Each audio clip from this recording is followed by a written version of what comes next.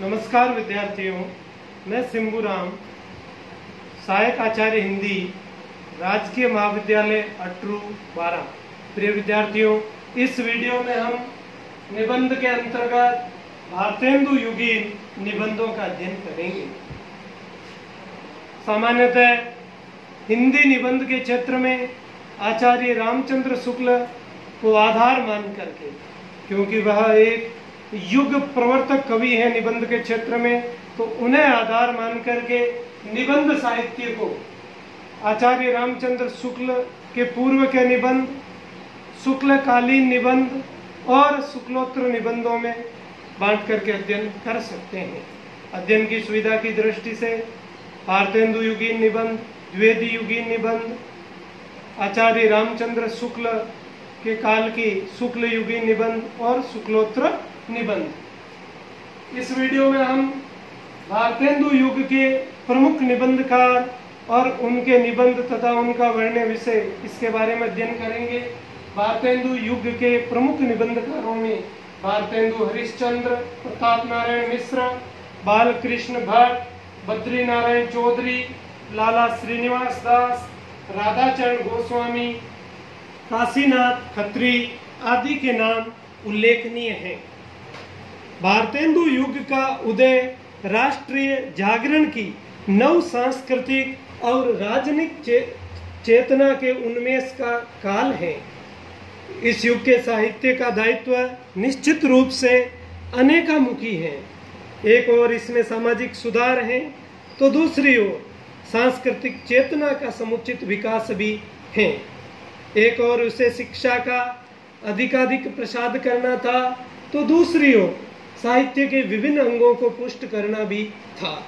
इन संपूर्ण दायित्वों की पूर्ति के सबल माध्यम के लिए जितना निबंध उपयोगी हो सकता है, उतनी साहित्य की दूसरी विधा नहीं। अतः इस भारतेंदु युग के निबंधों में जहाँ विषय व्यापकता है, वहीं उनमें पत्रकारिता के भी सभी गुण हैं। क्योंकि इस युग के सभी निबंधकार किसी न किसी पत्रिका का प्रकाशन करते थे और इस युग के प्रमुख निबंधकारों में भारतेंदु हरिश्चंद्र, बालकृष्ण भट्ट, प्रताप नारायण मिश्र बद्री नारायण चौधरी, प्रेमगन आदि के नाम विशेष रूप से उल्लेखनीय हैं।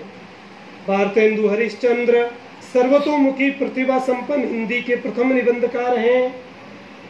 इन्होंने धर्म, समाज, राजनीति, आलोचना, खोज यात्रा, वर्ण विषय, व्यंग्य, विनोद आदि सभी विषयों पर सफल निबंध लिखे हैं। इन्होंने अपने धार्मिक निबंधों में अंधविश्वासों, मिथ्या परंपराओं और बाह्य आडंबरों पर तीखी चोट की है।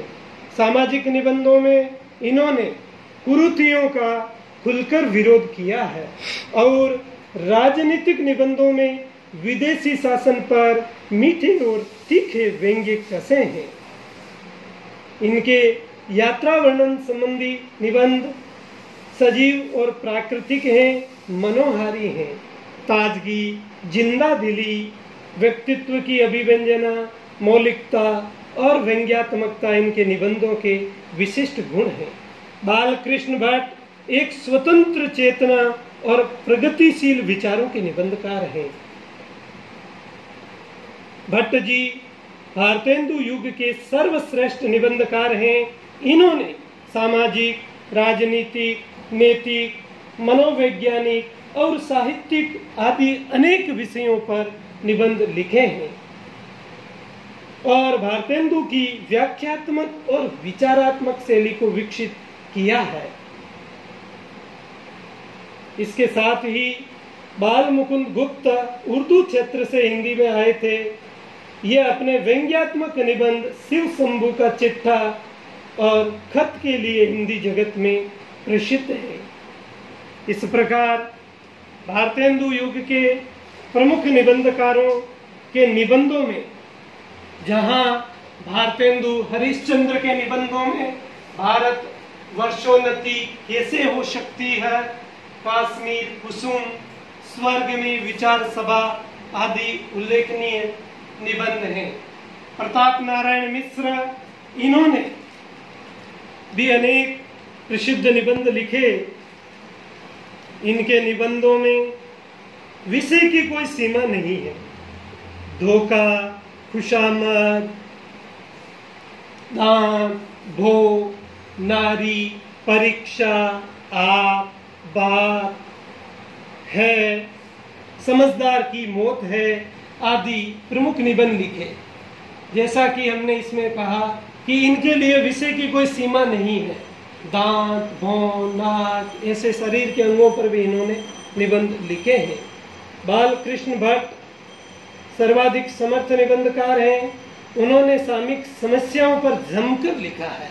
इन्होंने बाल विवाह, राजा और प्रजा, स्त्रियाँ और उनकी शिक्षा, कर्षकों की दुर्व्यवस्था, खराब अवस्था इस पर भी इन्होंने लिखा है, साथ ही साथ अंग्रेज़ी शिक्षा और प्रकाश, हमारे नए सुशिक्षितों में परिवर्तन, देश सेवा महत्व, महिला स्वातंत्र्य आदि विषयों पर भी निबंध लिखे हैं। ईश्वर भी क्या ठठोल है, खटका, चली सो चली, देवताओं से हमारी बातचीत आदि उनके व्यंग्यात्मक निबंध हैं।